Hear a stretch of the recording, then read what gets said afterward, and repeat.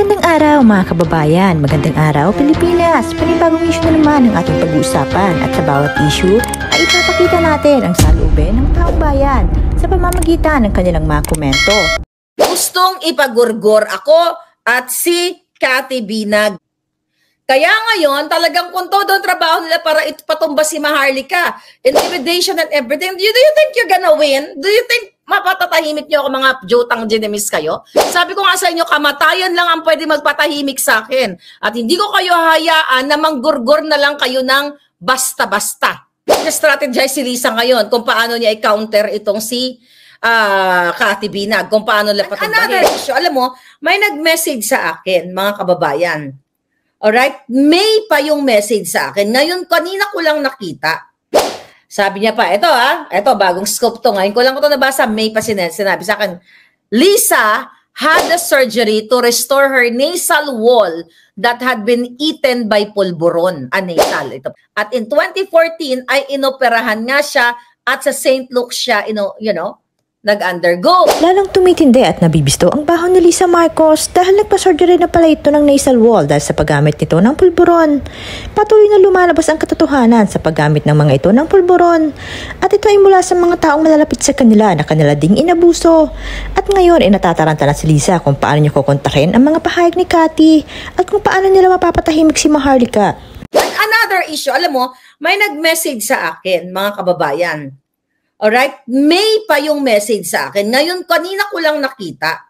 Sabi niya, okay, Lisa Marcos used to give 1 gram pulburon vial bottles to her friends for their birthdays. Alright? Can you imagine, sabi niya, the audacity of this woman? Now she is the first lady. Pulburon, sabi niya Polvoron was her gift to her to her to her, to her barkada dated May 14. Okay, May 14 to ay uh, okay. May 14 ito ngayong taon. Sabi niya Maricel is lying. Ito yung kasagsagan ng ano ni uh, Morales uh, uh, hearing sa Pidayalix. Sabi niya dito, Maricel is lying. Kani-kanina ko lang na, kagabi pala ako doon nakita. Maricel is lying. Her flat was the place to go to get high. Okay? Sabi niya, Maricel was the girlfriend of Martin Araneta. Well, sinabi ko to sa then she became, sabi niya dito, sabi ng message, according to, this, to my source, then she became gay and now is in a relationship with, who's this? Viana. I don't know, it's Viana. Okay? Viana daw. That whole family has been in the pulburon scene the, since, nine, since the 80s, sabi niya. Alright? Since the 80s. Sabi niya pa, ito ah, ito bagong scope to. Ngayon ko lang ito nabasa, May pa sinabi sa akin, Lisa had a surgery to restore her nasal wall that had been eaten by pulburon. Ah, nasal. Ito pa, sa leg ako. Okay. Sabi niya, Lisa had a surgery to restore her nasal wall that had been eaten by Coca-Cola, uh, by pulburon. Okay? Alright, explain pa kanya dito. Nasal snorting of pulburon, sabi niya, crystals causes destruction of the septal and nasal mucosa, which eventually provides exposure of the septal cartilage. Okay? Sabi niya, this exposure eventually le- leads to septal chondritis. Sabi niya, a known ENT in St. Luke's, oh, baka naman, did this procedure for her in 2014. So si Lisa, according to the source, na nilamon na ng pulburon ang kanyang uh, ang kanyang uh, nasal wall dahil daw sa kakalaklak ng pulburon. At in 2014 ay inoperahan nga siya at sa St. Luke's siya, you know, you know nag-undergo ng uh, ano ng uh, uh, surgery. So, favorite talaga nila yung St. Luke's. Sabi niya, I know these people well. Okay? I am very close sila. Eh. Hindi ko na pwede ba ito. Baka ma-identify ito. Eh, okay? Sabi baka baka ma-identify kung sino siya. But close din siya. Ayaw magsalita ka, madam. Sabi niya, I have a lot of information to share from the inside. Ah, ito pa siya. Ito si Ting Ting Ting, sabi pa nga niya. Ito, ito, ito. Sabi niya dito, Pretty Ting, sabi niya, I I know her well. Yung si Ting Ting Ting, yung pinawala natin, yung uh, pag-ibig ni Kuting. Si Ting Ting Ting, pag-ibig ni Kuting. Sabi niya dito, eto sinabi ko na to sa inyo, ibang source naman.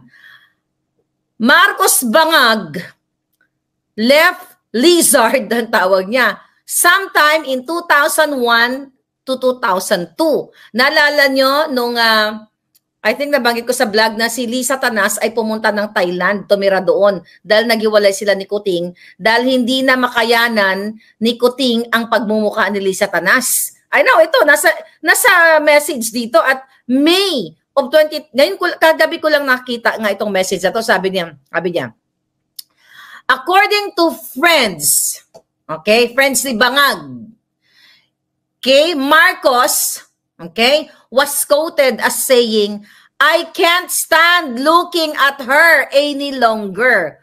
Ayon sa aking source, si Marcos ang nagsabi dito, si Marcos Jr. na hindi na niya kayang pagmumuka ni Botod, na hindi na niya kayang tignan ang pagmumuka ni Botod.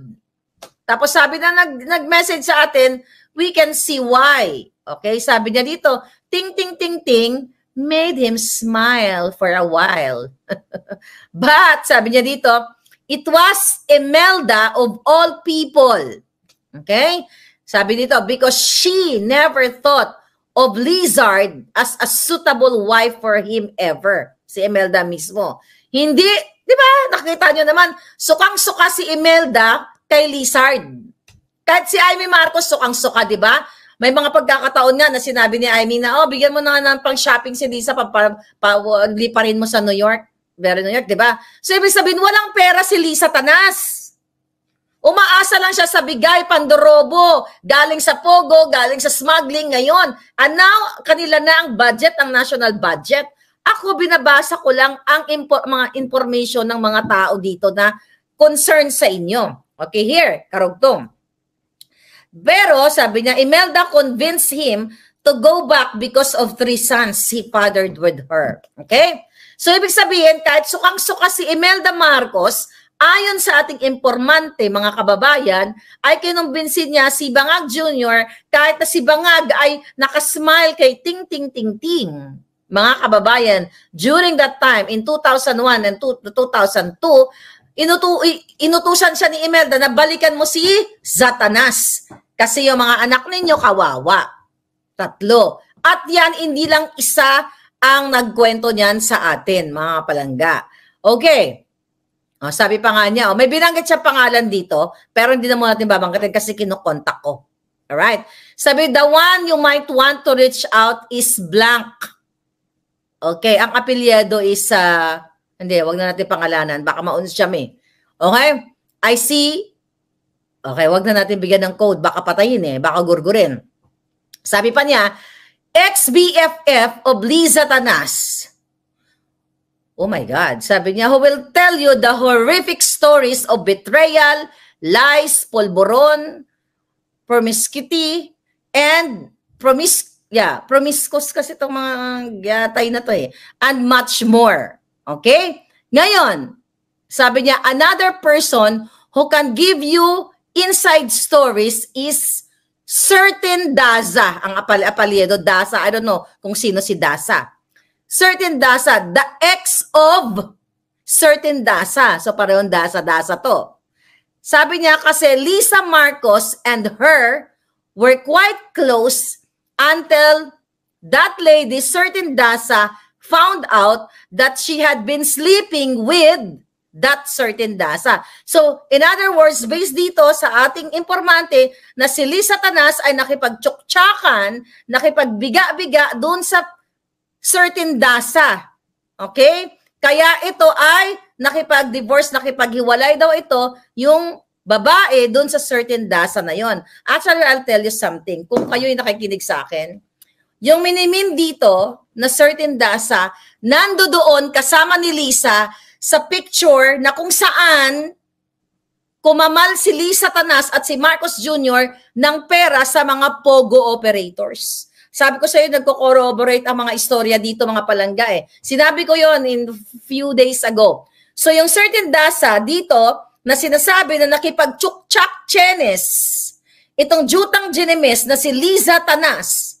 Kasi kapag hike daw ka sa pulboronic, kahit sino na lang, kahit yata, kahit yata, sa, kahit yata uh, sawa, pwede mo ipasok sa kipay mo kasi wala ka ng ano eh, wala ka na sa ulirat, di ba? High na high ka na. So according to this message sa ating source, si Madam, ay close din nila. I hope, Madam, you can speak up. Sumunod ka kay ano, kay Nancy, ay kay Nancy, kay Cathy Binag. Muntik mag Nancy Binay. Okay, kay Cathy Binag. So ayon sa source, mga kabayan, mga palangga, ito'y sunod-sunod na, kailan ba to?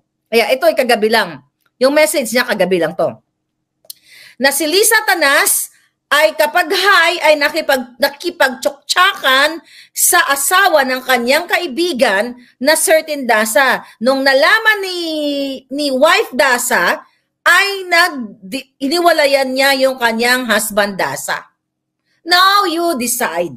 Okay? The reason why, mga kababayan, okay, gustong ipagurgor ako at si Cathy Binag. Literal man o uh, gurgor dito sa social media at sirain siya. Alam mo, ang daming pangalan dito. The Pulburon by Default Gang R. Okay, ito ha. Ako, hindi ako nagsabi nito.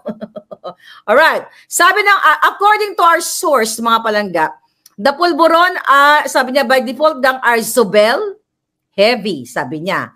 Lagdameo. Okay?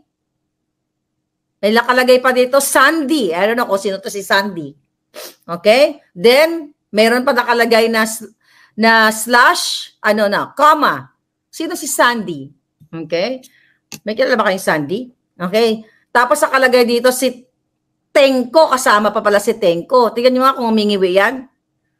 Oh my God. Sino to mga to? Okay, ito mga pangalan. Certain Louis, Ismael, Karen, Monch. O, oh, ewan ko sino to mga to. Certain Sandy, Car Carla, Louie, basta marami siya sinasabi. So mga kababayan, kaya naman gusto nilang gurgurin tayo. Kaya ngayon sinisira si Cathy Binag na isang matapang na lumabas para patunayan na in 20 years, I know, in 10 years na naging jowa niya si uh, uh, Florendo, o Floyrendo, how do you pronounce it, na tsuhin ni Lagdameo ay nakita niya yung uh, open na parang nagbubuffet lang, kumakain lang sila ng regular na polvoron. Kaya ngayon, talagang kung todo ang trabaho nila para ipatumba si Maharlika, intimidation and everything, do you, do you think you're gonna win? Do you think mapatatahimik niyo ako mga jutang genemis kayo? Sabi ko nga sa inyo, kamatayan lang ang pwede magpatahimik sa akin. At hindi ko kayo hayaan na manggurgur na lang kayo ng basta-basta. Strategize si Lisa ngayon kung paano niya i-counter itong si uh, Cathy Binag, kung paano nila patumbahin.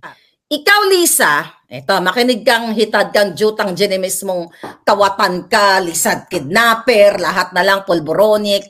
Eto mga kababayan, dito din sa Nara, sa bahay nila sa Forest Park, yung kamag-anak nyo na ang initial ay uh, E, R, Q.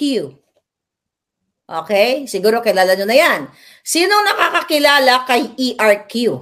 Si ERQ na kamag-anak ninyo, ha, Senator Amy Marcos, ikaw bangag, ikaw Lisa, ikaw kasi ang nag-alok. Pumasok siya. Another revelation to. Ayok magpa-interview ito. Pumasok siya doon sa bahay ni Lisa Tanas at ni Bangag at inalok din siya ng, ang sabi pa nga, Hey, E, sabi niya, you want some Coke? Ang sagot daw nito ni ESQ, ni ESQ, sabi niya, yeah, sabi niya na ganun, uh, diet please. Nagtawanan silang lahat. According to my source, last night na tumawag sa akin, nagtawanan daw sila. Kasi sabi niya, di- diet coke ang sabi niya. Yung pala, yung pulburon ang minimin. So itong taong ito, I hope magsalitaan. I'm looking forward na magsalta na, magsalta na, mag, magkaroon ng lakas ng loob ang ating, yung mga naka, nakapaligid sa kanila. So parang buffet Sinabi ni, ni Cathy yun. Ay, hindi ko lang kung nabanggit yun. Basta off-cam. Parang buffet o regular na. Parang buffet ang pulburon sa kanila. Did I say ER? ER, did I, no, ERQ. Yeah, babae din. So, inalok ni Lisa, pangalawa ito, pero hindi, I don't know kung magsasalita ito, ERQ ang kanyang, baka may nakakakilala. Sige, ah, sabihin ko kung uh, natum, natumbok ninyo. Inalok niya ng Coca-Cola. So, akala totoong Coke talaga. 'Di ba? Kaya sabi niya diet coke ang gusto niya. So nagtawanan, yung pala gusto ni Lisa siya bigyan ng pulboron. At even, ito pa mga kababayan, may mga bars diyan sa Pilipinas na itong Voltes 5 at even ang anak ni Marcos Jr. Okay? Hindi yan nabanggit yon. Okay? Even ang, hindi lang si Cathy ang ano ko doon, ang source. Ni Marcos Jr., dyan sa mga bars na yan, ito, ito, jutang ginemis kayo ha, PNP, NBI. Yang mga bars dan sa Makati, itong sila Voltes 5, even noon at ang kanilang mga anak at mga kaibigan ngayon, hanggang ngayon, up to now, ay parang buffet ang pulburon. Nilalatag sa club. Kahit narito pa ang mga komento mula sa mga nagagalit, nananawagan at mga dismayadong mga netizens. Bayan, gising, gising. Bayan ko gumising ka. Nasadlak tayo sa kumunoy sa pagboto at nabudol tayo ng admin na ito. Lumabas lahat tayo at magkaisa na at pababain, palayasin ang mga demonyo, ulupong, ahas, nakaupo sa palasyo. Go, go mga kababayan. Marcos Bangag, resign na. Wala kang karapatang mawalagi sa Malacanang. Nakakahiya ka sa buong mundo. Huwag mo nang idamay ang mga Pilipino sa pagkapulboronik mo. Kapal ang mukha mo. Resign, Pulboronic Marcos, resign. Instead na i-address ang problema ng bansa, nagawa nila. Wala nang ginawa ang gobyernong ito, kundi taniman ng kaso ang mga taong sumasalungat sa kanilang baluktot na pamamalakad. Sa buong buhay ko, ngayon lang ako nakakita ng gobyernong ganito ka-wars at hindi malasakit sa bayan ang layunin, kundi ang manatili sa kapangyarihan at pagkamkam pagwawaldas ng salapi ng bayan. Hindi talaga yan mag-resign kasi hindi naman siya ang namumuno bilang Pangulo ng bansa, kundi yung asawa niyang palaka naghahaman sa kapangyarihan. Dapat ang gawin dyan, magkaisa ang taong bayan na paalisin sila. Hindi na yan sila magbabago. Kailanman, ganyan na talaga sila. Matanda na eh. Kaya hablutin na yan sila para matapos ang problems at maging maunlad naman tayong bansa.